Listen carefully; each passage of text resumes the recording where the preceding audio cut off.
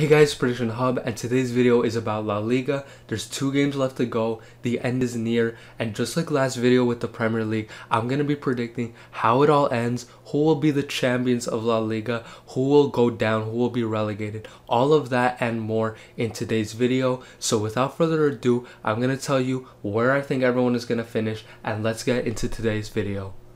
We're going to be sticking with the same format as the Premier League video. So first off, we have to address the relegation zone and let's just get the obvious out of the way again. It's awfully similar to the Premier League where Norwich were finishing bottom, but Espanyol will finish last. It's actually already confirmed that they will finish in 20th for this season. They're already relegated. I think they've been really bad this season. I hate to put it that way, but I just think they do deserve to go down into Spain's second division. And I think joining them it's gonna stay the same. I think Leganes will finish in 19th. They haven't they've been better, but they haven't been that good either. And I think it's gonna be really close for 18th. Mallorca is sitting in 18th, and you know Alaves have a bit of a lead.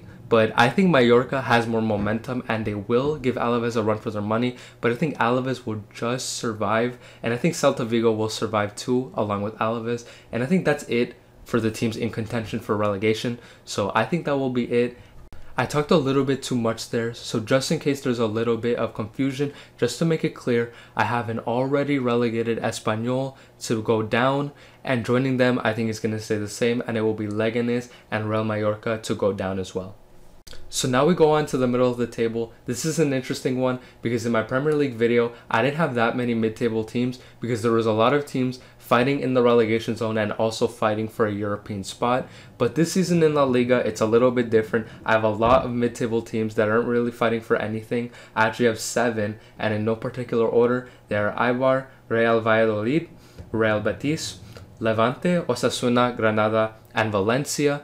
I think these teams are just going to finish in the middle of the table. I want to talk about Valencia because they were in contention for European football, even Champions League, but ever since the restart, they've really dropped off and they've really had a lot of poor results. I think they've only gotten one win and it was by one goal. So sad to see that because I really like Valencia, but they are going to have an average season and they will finish in the middle of the table along with those other six teams I mentioned.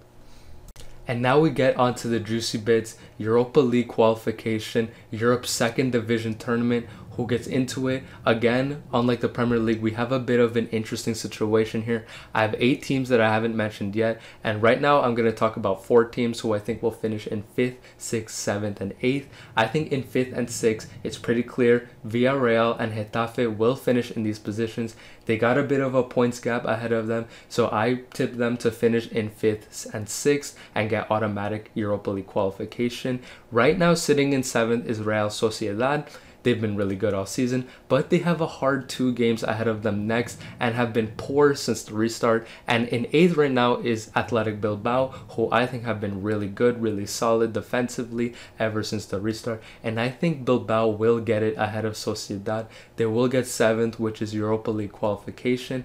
I think Real Sociedad are going to collapse in these last two games and will not get any European football. And now on to those Champions League spots. This is a bit of a boring one unlike the Premier League because we actually have our top four already confirmed. First through fourth will all finish in the top four by the end of the season. Fourth place Sevilla is on 66 points, 9 points ahead of fifth place Villarreal who is on 57 and that is mathematically enough to get them over the line and will get them UCL football. I want to say something more though. I will actually put in a bit of a fun prediction here. I say Sevilla Uh, they're on the same points as Atletico Madrid. They're all on 66. And I think Sevilla will actually finish in third and Atletico gets in fourth. Atletico usually always does well in La Liga, most of the time getting second or third, but I will actually think they will finish in fourth this season. But that's what I think is going to happen with Sevilla and Atletico. Now I want to say what happens with the champions. And now there are two teams I haven't talked about yet, which are Real Madrid and Barcelona, the two teams contending for the La Liga title of the 1920 season.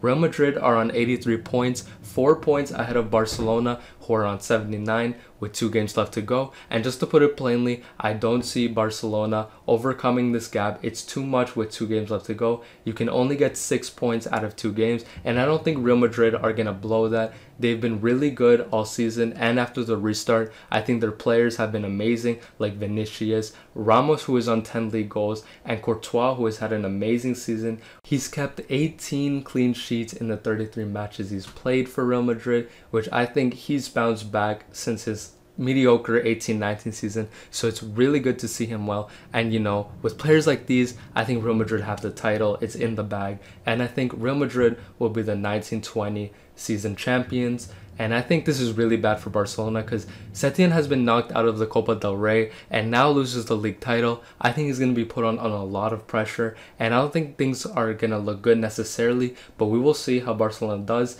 in the Champions League in August and I think that will be the deciding factor whether Setien stays this is the end of the video. Now guys i want to thank you guys for watching for listening for staying this long. This video was a little bit longer than my premier league video. Give me your guys feedback on that or anything else in general. Do you like my videos long? Do you like them short? What else can i do? If you guys can also like comment and subscribe that would be greatly appreciated. And with that said i will see you guys in the next video